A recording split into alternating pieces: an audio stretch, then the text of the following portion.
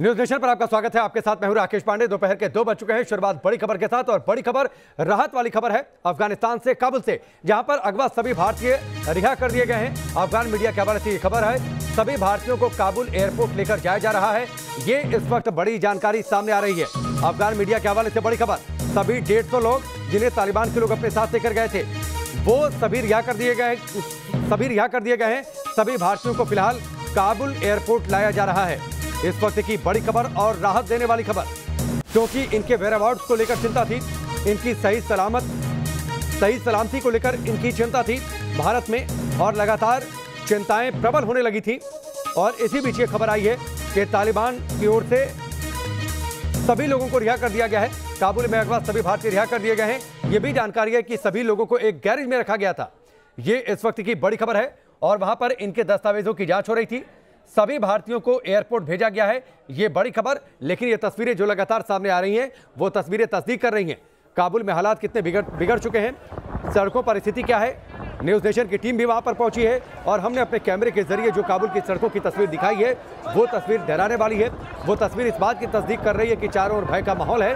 इस बीच कुछ और तस्वीरें आप देखिए। पहली तस्वीर काबुल की सड़कों की तस्वीर है, और दूसरी तस्वीर जो एयरपोर्ट पर स्थिति क्या है इसे जंग मैदान जैसा तब्दील होता नज़र आ रहा है, जहाँ पर सिर्फ़ सैनिकों की मौजूदगी, आर्मी के व्हीकल्स और साथ ही वायुसेना के विमान और बाहर सैकड़ों हज़ारों की तादाद में लोग और बाहर रह रहकर गोलीबारी की आवाज़। कहा यह भी जा रहा है कि गोलीबारी इसलिए भी की जा रही है ताकि लोगों की बड़ी संख्या वहाँ पर जमा हो गई थी एयरपोर्ट के बाहर।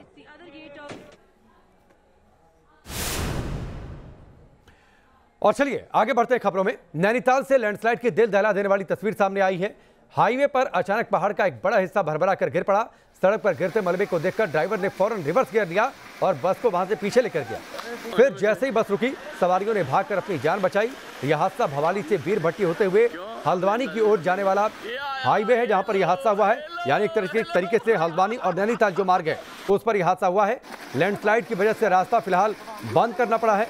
ये तस्वीर आप देखिए, किस तरीके से पहाड़ का एक हिस्सा टूटकर भरभरा कर गिरा है।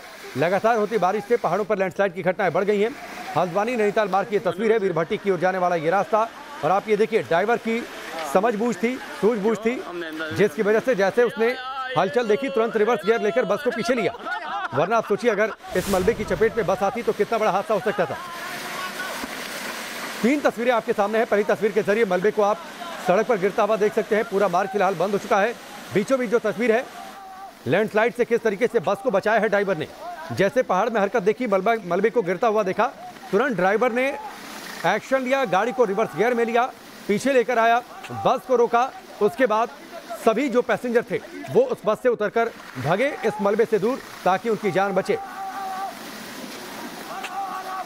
समीर शाह हमारे साथ समीर शाह हमारे साथ जुड़ चुके हैं, सीधे उनका रुख रुख करते हैं। समीर शाह, ये तस्वीर डराने वाली है। जिस तरीके से लैंडस्लाइड हुआ, पूरा रास्ता बंद करना पड़ा।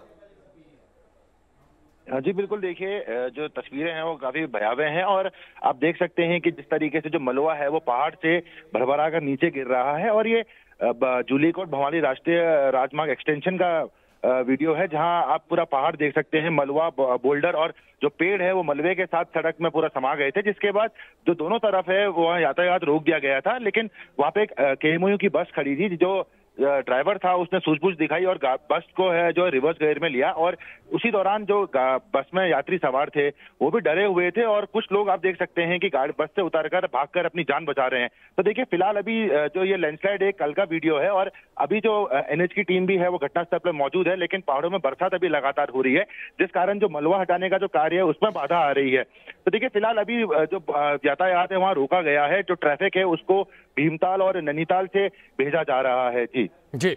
ठीक है, समीर, हमसे जुड़ने के लिए पूरी जानकारी के लिए बहुत बहुत शुक्रिया। ये तस्वीर ठहराने वाली तस्वीर आप देखिए, किस तरीके से एक बड़ा हिस्सा पहाड़ का, वो अचानक से भरभरा कर गिर पड़ा, पूरा रास्ता बंद हो गया। ड्राइवर की सूझबूझ थी, जिसने बहुत रहते, रिवर्स गेयर ले लिया और उसके बाद जो यात्री थे, वो दूर चले गए, सुरक्षित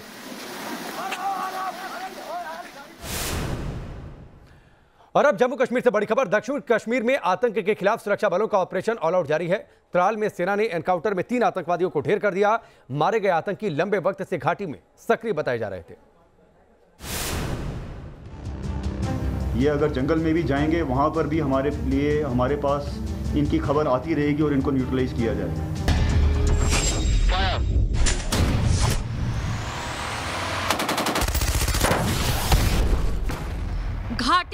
आतंक का करारा प्रहार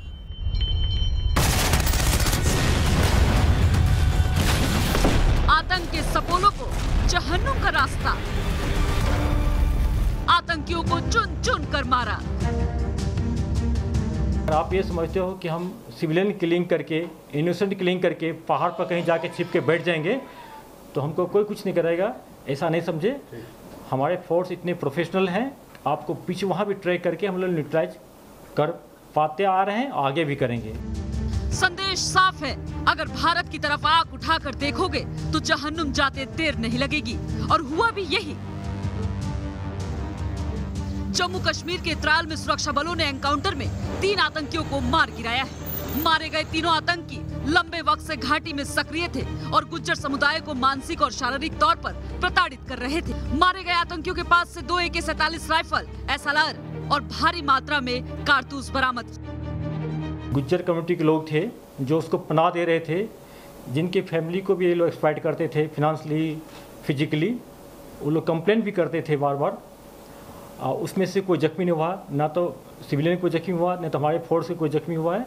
ये कोलेट्रल डैमेज के बिना ऑपरेशन हुआ है। बहुत डिफ़िकल्ट ऑपरेशन था। टारगेट के पास हमारे जवान बहुत नज़दीक पहुँच के घेर लिया और उनको सरेंडर करने का मौका दिया अंदर से फायरिंग शुरू हो गया। रिटालिएशन में मारे गए पूरा।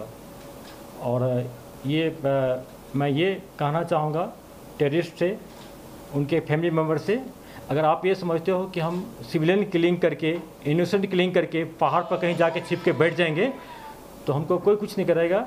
ऐसा नहीं समझे। हमारे फोर्स इतने प्रोफेशनल हैं, आपको पीछे वहाँ भी ट्रैक करके हम लोग न्यूट्राइज कर पाते आ रहे हैं। घाटी में आतंकियों की मौजूदगी की खबर मिलते ही सुरक्षा बलों के जवान एक्शन में आ गए और इन्हें ठिकाने लगाने का बेड़ा उठाया।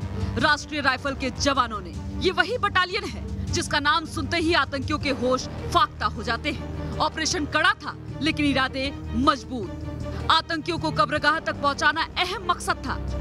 दुर्गम पहाड़ियों में ऑपरेशन शुरू हो गया। गोलियों की तड़तड़ाहट से घाटी गूंज उठी और आखिरकार जीत सुरक्षा बलों को मिली। तीनों दहशतगर्दों को ठिकाने लगा दिया गया। तीनों टेररिस्ट जो हैं काफ़ी टाइम से यहाँ पर ऑपरेट कर रहे थे। और वहाँ के लोकल गुज्जर कम्युनिटी हमारे को जैसे मैंने आपको लास्ट टाइम लंबू के ऑपरेशन में भी बताया था इनके अगेंस्ट तीन चार बारी हमें खबर दे चुकी थी। वो बता रहे थे कि ये लोग वहाँ पर अ, कुछ एक लेडीज़ को भी सेक्सुअली एक्सप्लॉयट कर रहे हैं और उनके प्रॉपर्टी को भी नुकसान पहुँचा रहे थे। सो एक ये बहुत सॉलिड पैगाम इस ऑपरेशन से हमारा बाहर गया है कि ना ही बिल्टअप एरिया में और वैली फ्लोर में इनके लिए कोई जगह नहीं है।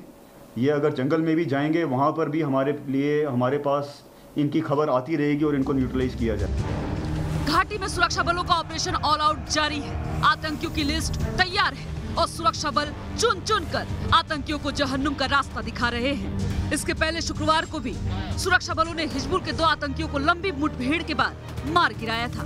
फ़िलहाल सेना सीआरपीएफ और जम्मू कश्मीर पुलिस मिलकर ज्वाइंट ऑपरेशन चला रही है और इलाके में सर्च अभियान अभी जारी है।